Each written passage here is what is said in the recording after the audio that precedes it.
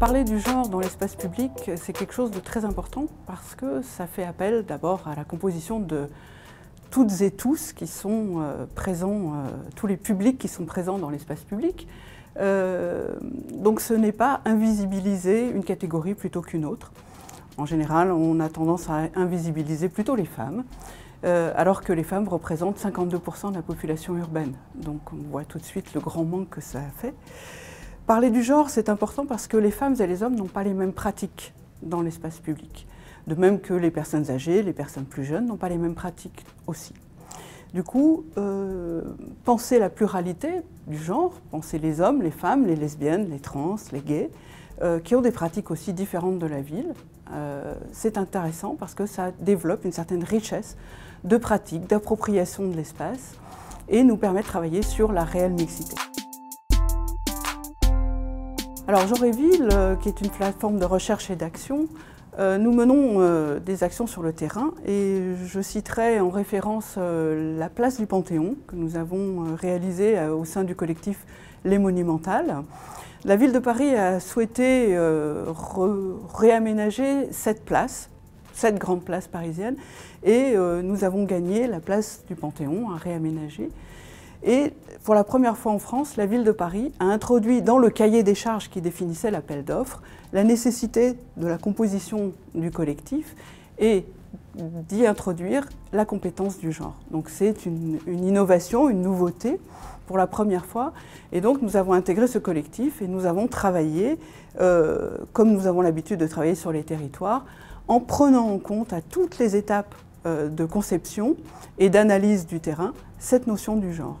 C'est-à-dire que nous avons fait des comptages, nous avons fait des observations, ce que faisaient les unes, ce que faisaient les autres, combien de temps les hommes restaient, combien de temps les femmes restaient, est-ce qu'elles restaient seules, est-ce qu'elles étaient accompagnées, est-ce qu'elles mangeaient, est-ce qu'elles écoutaient leur téléphone, est-ce qu'elles étaient là le soir, le matin, euh, la nuit?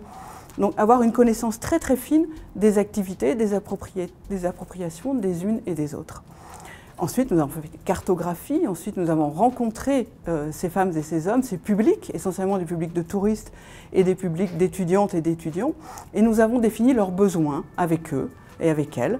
Euh, les besoins de travailler, les besoins de manger dehors, les besoins d'attendre, les besoins de se poser pour euh, attendre quelqu'un, rencontrer quelqu'un, se poser simplement, avoir ce qu'on appelle, nous, en tant qu'urbanistes, des séjours urbains, c'est-à-dire être bien dans l'espace public, pas simplement faire du passage.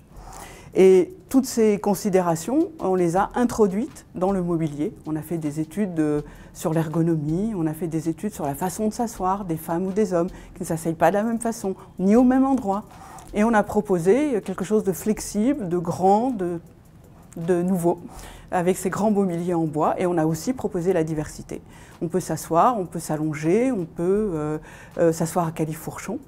Et euh, le résultat est, vraiment visible sur le plan de la mixité, puisque sur une place minérale, urbaine, une des plus urbaines de Paris, on trouve des femmes qui ont des comportements qui sont tout à fait similaires à ceux qu'elles peuvent avoir dans les parcs et jardins, c'est-à-dire une position de tranquillité, un peu relâchée, semi-allongée avec un livre, se faire bronzer par exemple. Et ça, c'est un, un, de nos critères très importants qui marque euh, la mixité et la réussite euh, du projet.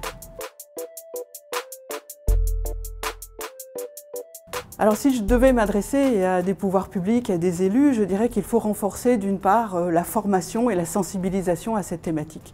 Parce que pour l'instant, elle se développe, je dirais entre guillemets, au bon vouloir de, personnes, d'élus ou de, personnes qui travaillent sur le terrain, sur les territoires et qui veulent porter cette thématique. Donc il faut que cette thématique se développe, il faut que les gens soient sensibilisés, formés, il faut former aussi, euh, aussi bien les, euh, les, gens qui sont sur le terrain, les élus, mais aussi les architectes, les paysagistes, les urbanistes qui euh, font la ville, qui fabriquent la ville.